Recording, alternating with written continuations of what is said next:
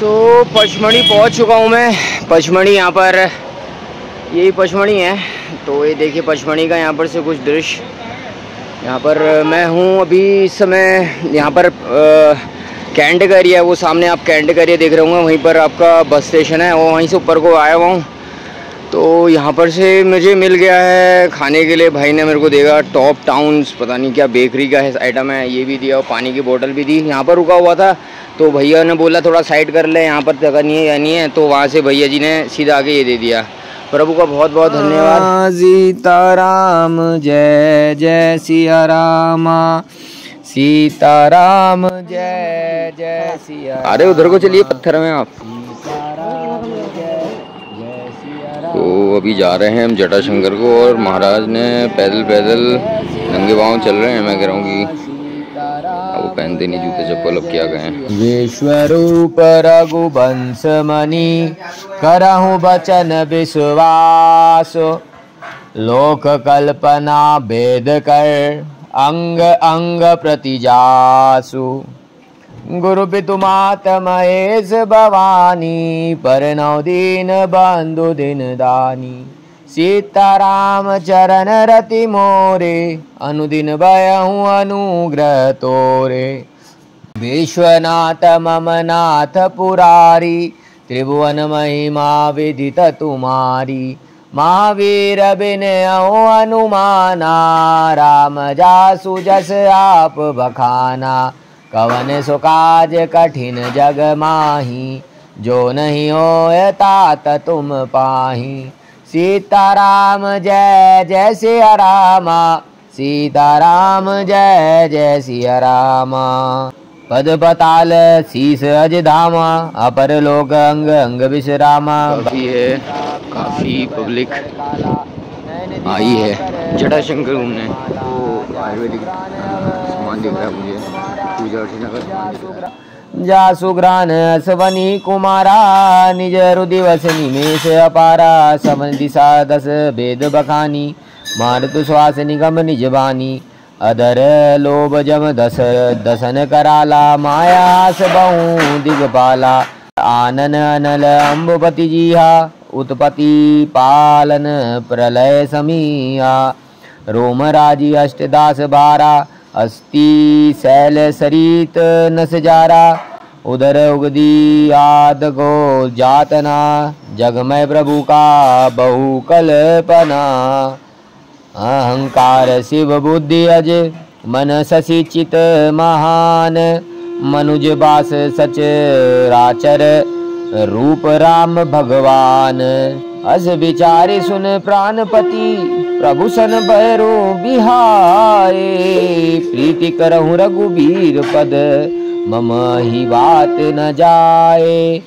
गुरु पितु मात महेश भवानी, पर नौ दीन बंधु दिन दानी, सीताराम चरण रति मोरे, अनुदिन भय अनुग्रह तोरे विश्वनाथ मम नाथ पुरारी, त्रिभुवन महिमा विदित तुम्हारी माँ वीर विनय अनुमाना, राम जासु जस आप बखाना कवन सुकाज कठिन जग माई जो नहीं होए तात तुम भाई सीताराम पचमणि के जटाशंकर हनुमान मंदिर संकट मोचन हनुमान मंदिर में।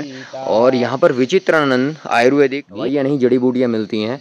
तो पूछते हैं सबसे पहले कि ये चीज़ क्या है? ये चीज़ मैंने बहुत देखी है प्रभु। ये बताइए, ये चीज़ क्या है? ये महाराज, जंगली प्याज होता है। यहाँ पे 30 से 40 किलो का होता है, मगर ये खाने के काम में नहीं आता। इसका जॉइंट पेन के लिए तेल बनाया जाता है। गठियावाद है साठ का है उसके लिए। इसको कहीं से तोड़ेंगे या छीलेंगे तो इसमें भिंडी जैसा रेसा निकलता है। ये देखिए, घुटने में लुब्रिकेशन हो जाता है चिकनाइट वगैरह आ जाती है। इसके लिए इसकी मालिश करी जाती है। और आप लोगों ने यहाँ पे सुना होगा, जंगली नींबू, इसको बोलते हैं सुई नींबू। इसमें धातु जैसी कोई भी चीज़ डालेंगे, हफ़्ते भर में गला के पानी बना देता है ये नींबू। वेट लॉस के लिए काम आता है और पथरी किडनी स्टोन के लिए इसका पाउडर बनाया जाता है। और यहाँ पे हनी वाइल्ड का सेकेंड नंबर का होता है जी। फ़र्स्ट नंबर का ब्राचील में पाया जाता है चामगोदड़ों की गुफा में। और सेकेंड नंबर का होता है पचमढ़ी में पहाड़ों में। यहाँ पे 80 किलोमीटर की रेंज में फूल नहीं होते। यहाँ की मधुमक्खी जड़ी बूटियों का अर्क निकाल कर इस सेहत को तैयार करती हैं। जी, और यहाँ पे आप देख रहे हो शिलाजीत ये होता है पहाड़ों का पसीना। ये तीन सौ पैंसठ बीमारी के काम आता है। ये ऐसी जगह पे होता है जिस जगह पे बंदर नहीं पहुँच पाते, क्योंकि इनको बंदर खा जाता है। तो देख रहा है इसको बोलते हैं जटामासी। इसमें एलोवेरा टाइप का जेल निकलता है। ये भ्रंगराज तेल बनाया जाता है बालों के लिए। बालों का झड़ना टूटना रोकता है। सफ़ेद बाल हो रहा है तो उनको काला करता है। ये होता है जी रुद्राक्ष। हमारे महाराज जी ने यहाँ पर रुद्राक्ष का पेड़ लगाया था। अब इसके अंदर आपके नसीब से निकलेगा कितना मुखी निकलना है। वो आप छीलेंगे इसको पानी में गलाकर तो आपके नसीब से निकलेगा। रुद्राक्ष का भी झाड़ लगा हुआ है पीछे। अगर आप लोगों को रुद्राक्ष नहीं देखा तो हमारी दुकान पे देख सकते हो रुद्राक्ष। पीछे झाड़ लगाया है महाराज जी ने। अब आपके नसीब से निकलेगा, इसमें कितना मुखी निकलना है। इसको एक दिन गला के रखेंगे और दूसरे दिन छीलना है। ये रुद्राक्ष के झाड़ से तोड़े हुआ फल है। छीलने के बाद ऐसा निकल जाता है।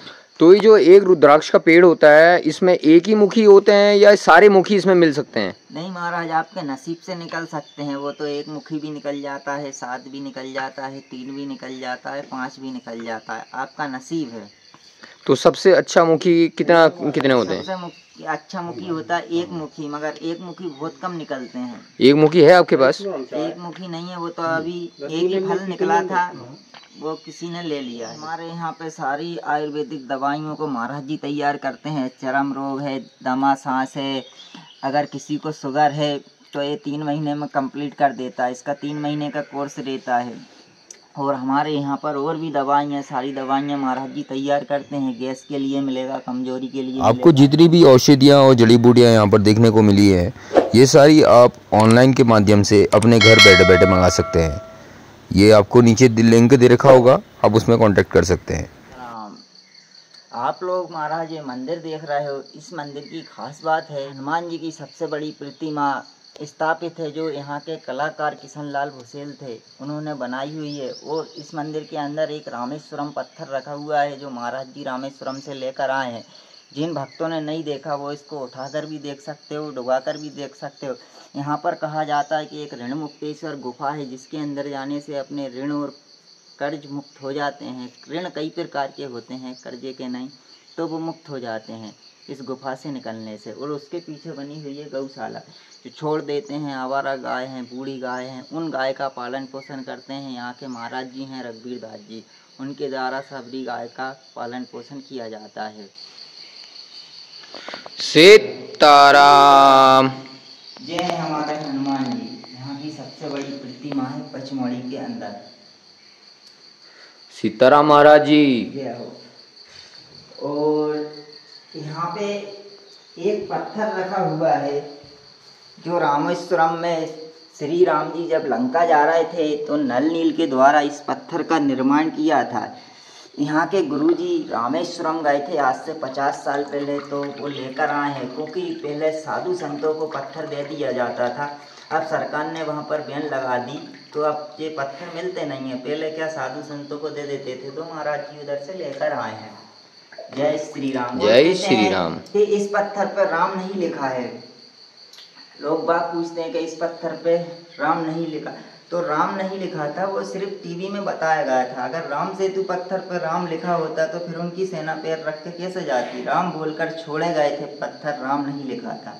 ये देख रहे हो आप, रामेश्वरम भी जाके देखना तो उन पत्थरों पर राम नहीं मिलेगा। हमारा उन्नीस सौ तिहत्तर का मंदिर बना हुआ है, सन उन्नीस जी, बाकी हुआ इस चलिए। गुफा को माना जाता है कि इस गुफा के द्वार से निकलने से अपने जो ऋण होते हैं कर्ज होते हैं वो मुक्त हो जाते हैं। ये महाराज जी की धुनी है। यहाँ पर धुनी स्थापना करते हैं। जय हो। जय महाराज की जय हो। तो चलो ऋण मुक्तेश्वर गुफा की तरफ़ चलते हैं हम्म, और देखते हैं अंदर। जय हो महाराज।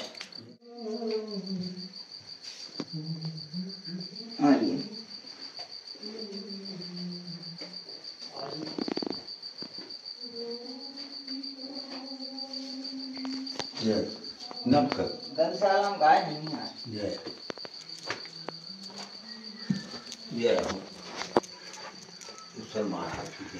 तो यह गौशाला संकट मोचन हनुमान मंदिर जटाशंकर। यह हुआ छोटा सा नाम रघुवीर दास नाम है।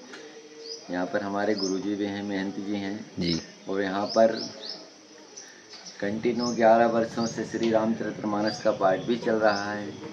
संत सेवा भी होती है। भक्त सेवा भी होती है आश्रम काफ़ी समय से यहाँ पर विस्थापन है स्थापित है और सभी की सेवा होती है यहाँ पर।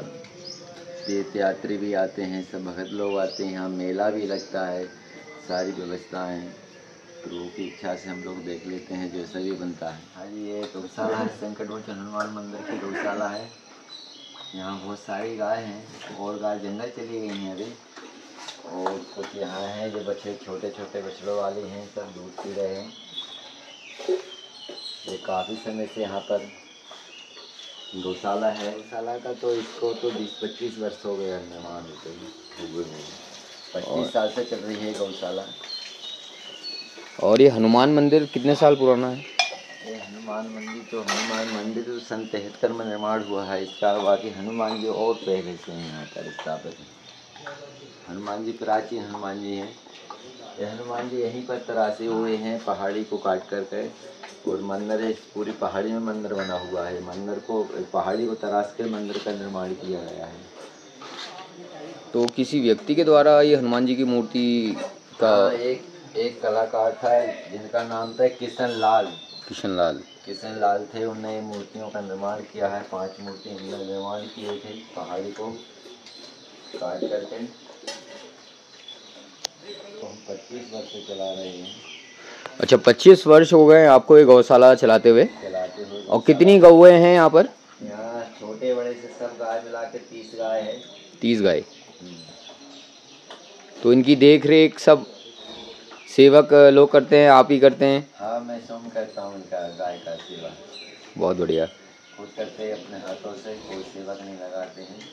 गाय की सेवा खुद करते हैं। बोला जाता है कि एक गौ माता में छत्तीस करोड़ देवी देवताओं का वास होता है और आप तीस गायों को की सेवा कर रहे हैं तो इसका पुण्य तो आप ही को मिलने वाला है। ये तो प्रभु की लीला है उनकी कृपा है जो अपन उनकी सेवा कर रहे हैं। बता ऐसा बताते हैं जिसके घर में होवे गाय उसके भाग को सराय। उसके घर चलो आए सब तीर्थों का पर्व। ऐसा बताते हैं जिनके घर में गाय होती है, उनके घर में सारे देवताओं का वास होता है, निवास होता है।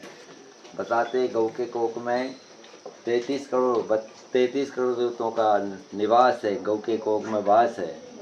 ऐसे बताते शास्त्र प्राण बताते संत मुनि महात्मा बताते हैं कि गौ सेवा अच्छी होती है गौ सेवा सभी को करना चाहिए।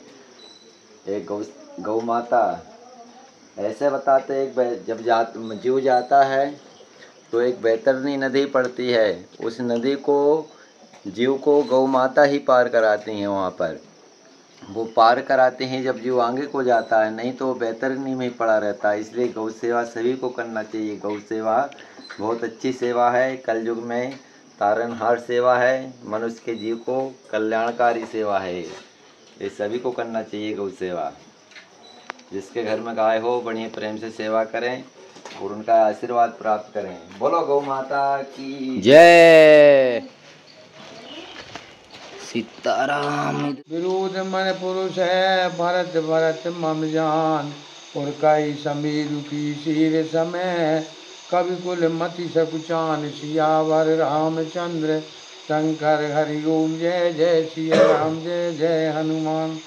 अगम सबम वर्णत भर वर्णी जिम जलहीन नील घुमर कर धरनी भरत अमित महिमा सुन रानी जनई राम जा सकई बखानी। बरनी स प्रेम भरत अनभाऊ और तिन जिय की रुचि लखी कह राऊ। बोलो शंकर भगवान की जय। क्योंकि ये हैं रुद्राक्ष बताते हैं शिव जी के आंसुओं से उत्पन्न इसकी उत्पत्ति है। ये अच्छा होता है। इसको धारण करने से बहुत सुख शांति मिलती है, बहुत चीज़ों की प्राप्ति होती है। ऐसे बताते हैं रुद्राक्ष का स्वभाव ऐसा होता है कि जैसे बिलपत्र का झाड़ रहता है, उसमें तीन मुखी बिलपत्र तो होते ही हैं उसमें पाँच का भी मिल जाता है, सात का भी मिल जाता है। ऐसे रुद्राक्ष का है, इसमें एक मुख भी पे, एक मुख भी मिल जाता है, पाँच मुखी भी मिल जाता है, सात मुखी भी मिल जाता है। ऐसा इसका स्वभाव होता है। ये बहुत अच्छी चीज़ है। इसको सब सभी को धारण करना चाहिए और इसके पूजा अर्चना करना चाहिए। ये शिव जी का शिव जी का ही स्वरूप समझ लीजिएगा। बोलिए शंकर भगवान की जय। हर हर महादेव। जय हो। प्रभु एक बात और पूछनी थी आपसे। तो एक मुखी रुद्राक्ष जो होता है वो एक मुखी रुद्राक्ष बहुत बोलते हैं बहुत कठिन होता है पाना। तो वो क्या सही बात है? हाँ हाँ रुद्रा एक मुखी रुद्राक्ष जल्दी से प्राप्त नहीं होता है। हो तो जाता है इसे एक मुखी रुद्राक्ष का वृक्ष अगर नहीं होता है ए, एक ही वृक्ष में ही वो सारे फल प्राप्त होते हैं। एक मुखी भी मिल जाता है दो मुखी भी मिल जाता है पाँच मुखी भी मिल जाता है। इसी वृक्ष में ही सारे फल मिलते हैं अलग से कोई वृक्ष नहीं होता है।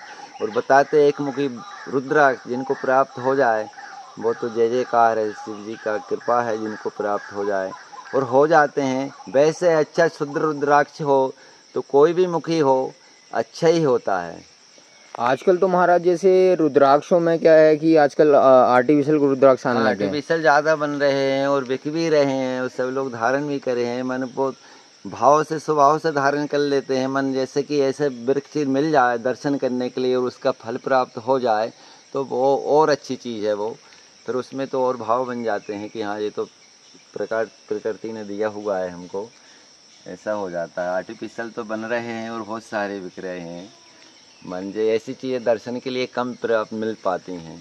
कहीं कहीं है तो शिव जी की नगरी है पचमढ़ी भोलेनाथ की नगरी है उसमें ये भोलेनाथ की कृपा से हो गया है। बुलाते ही जय भूले आपको कैसे पता मैं यात्रा में हूँ? प्रभु को प्रभु ने नहीं मालूम रहेंगे तो हम बोलेंगे कौन खड़ी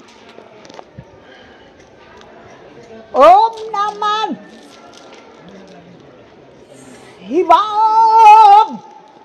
सीताराम। विचित्र बात। मैंने कुछ नहीं बताया था उन्हें। वो बोल रहे हैं आपकी यात्रा मंगलमय हो। अभी बैठूँगा जाके। निकाना अहो मोह महिमा बलिवाना। नारी सुबाऊ सत्य सब कहीं। हरे हरे मारे भय विवेक असौच अदाया। रे रिपु कर रूप सकल गावा। ति विशाल मय मोहे सुनावा।